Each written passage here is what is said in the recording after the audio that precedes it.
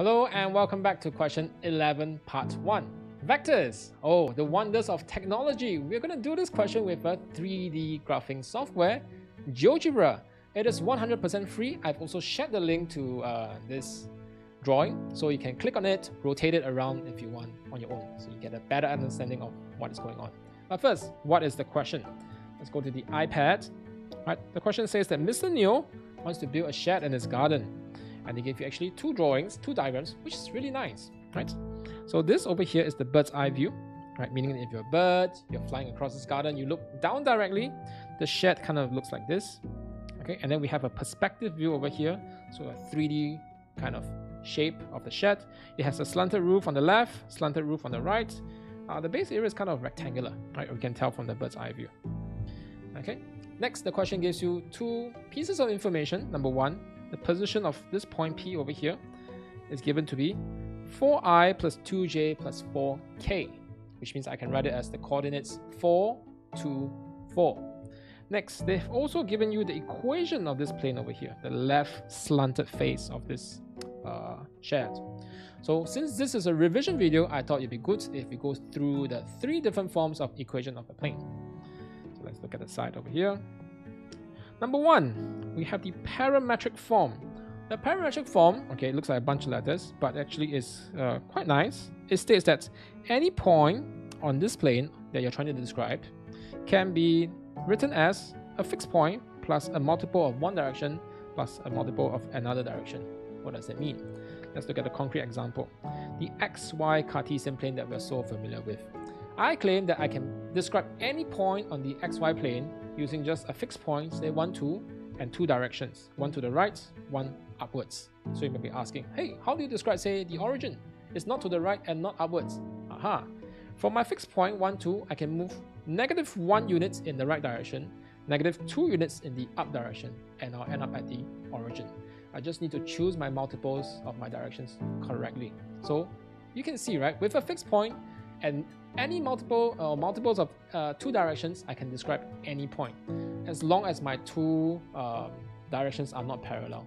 Right. For example, if I have direction one to be right, direction one to be left, then I can only describe uh, things on this line here. I cannot get a vertical displacement. Yes. So that is the parametric form over here. There you go. Next, we have the scalar product form, which is very compact and very useful. It states that any point on the plane, when you dot it with its own normal vector, you'll get a fixed constant k, which is quite strange if you think about it. Like, even if I choose a point that is like very large, 99999, you know, like huge coordinates, huge values here, why does it still give you a constant? That is because by now you should sort of know that the dot product gives you a perpendicular distance. It can, right? So if you take any point, even if you choose it very far away, what you're doing is you're finding sort of like the perpendicular distance here, a multiple of this actually, because it depends on what your normal vector is, right? So when you do that, you're getting kind of a multiple of your distance of this plane from the origin. Okay, the dot product actually is somewhat of a multiple of distance from the origin. And that also kind of goes to show that if your plane contains the origin, then the dot product will always be zero. Yeah.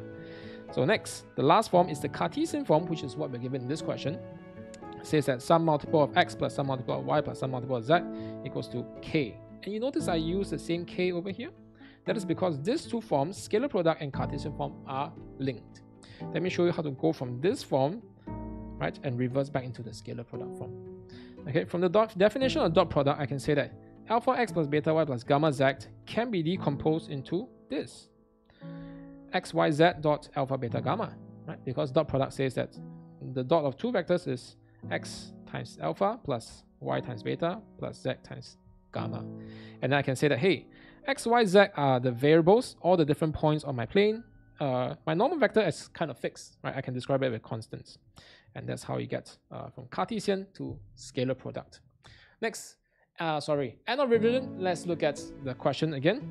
So in part one, or before that, we're given the scale, uh, the Cartesian equation of uh, the left slanted roof, A, B, Q, P here, this one over here, right? How do I get the normal vector from here? So exactly what we did just now. I can decompose this into x, y, z dot negative 2, negative 1, 3. Okay, That tells me the normal vector of ABQP is negative 2, negative 1, 3. So let's write that down. Maybe draw that on our diagram over here. Okay, so this normal vector will be negative 2, negative 1, 3. And part 1, right, part 1 claims that, hey, the other slanted roof CDPQ will have a normal vector of 2, 1, 3, 2i plus j plus 3k. Right, so it claims that, you know, this is positive 2, positive 1, and positive 3. Yeah? Why is that so? Why should it be like positive, positive, and this one is not negative? Right? Let's take a look. Number one, I claim that, you know, before we look at the nice drawing on GeoGebra, this is what I claim first. If you look at the front, right, if you stand in front of the shed, say over here, and you're looking at this face, this wall over here, ADEH, if you're looking at this way, then you should be able to see that uh, where normal, the two normals meet, right? If I draw a vertical uh, vector upwards, that vertical vector will split the angle between these two normal vectors, right? Let's switch over to the nice 3D view. Okay, so I gone ahead and plot out the two normal vectors here, n1 and 2. Okay, as you can see, they kind of pop up from the left and right slanted roof.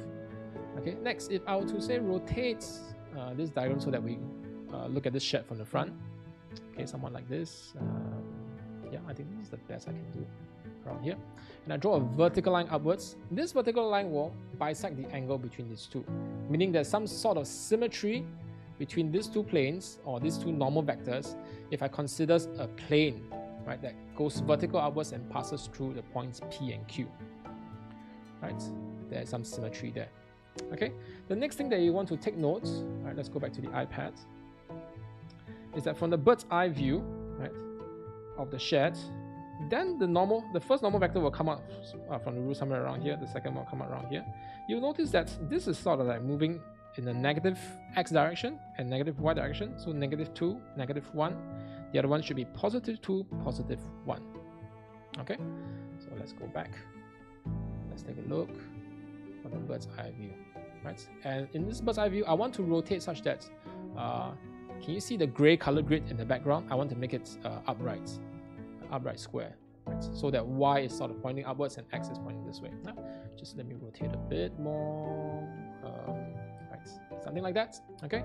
And you can see that from the intersection of the two normals, if I move two units to the left, one unit down, that is where my left slanted uh, normal will pop out of the roof.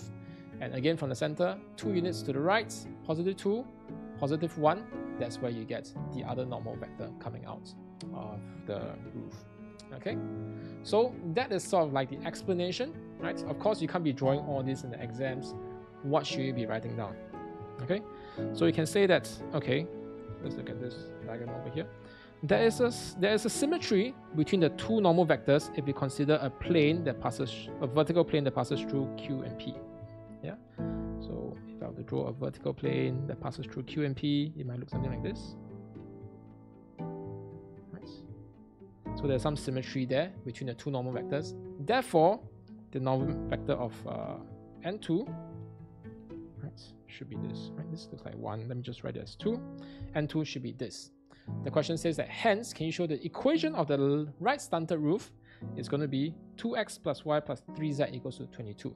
No problem, because I can decompose this into some point on the plane xyz times 213 okay and what points do I know oh I know point P right I know point P is on both planes right that is 424 so